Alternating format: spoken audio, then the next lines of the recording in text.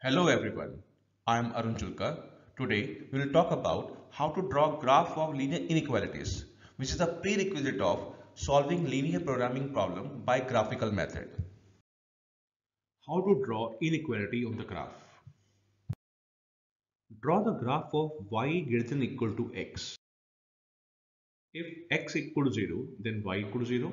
If x equal to 1, then y equal to 1. So line passing through 0 comma 0 and 1 comma 1. Put point 1 comma 0 in inequality.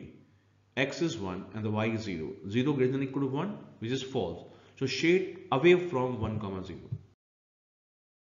Now draw the graph of y less than equal to x. If x equal to 0 then y equal to 0. If x equal to 1 then y equal to 1. So line passing through 0 comma 0 and 1 comma 1.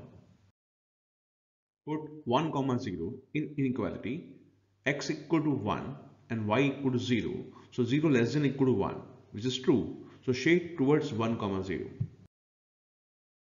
Draw graph of 2x plus 3y less than equal to 6. To convert this inequality into intercept form, divided by 6 both sides and we will get x upon 3 plus y upon 2 less than equals to 1. So intercepts are 3 and 2. This implies line cut x-axis at 3 and y-axis at 2 and points on the line 3 comma 0 and 0 comma 2. To draw shade, put origin 0 comma 0 in inequality 2x plus 3y less than equal to 6. After putting 0 comma 0 in inequality, we'll get 0 less than equal to 6 which is true. So shade toward origin.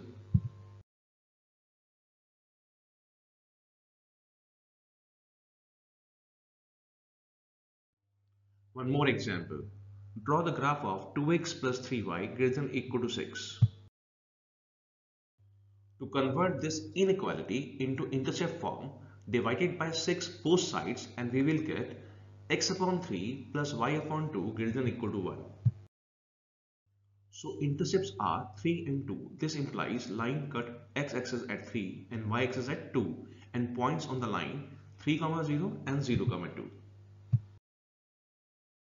To draw shade, put origin 0 comma 0 in inequality 2x plus 3y greater than equal to 6.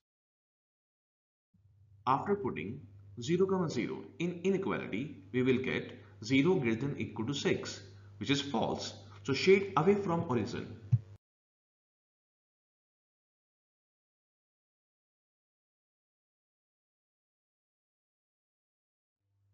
Please remember to draw shade always put origin when the line is not passing through origin and put any other point if the line is passing through origin.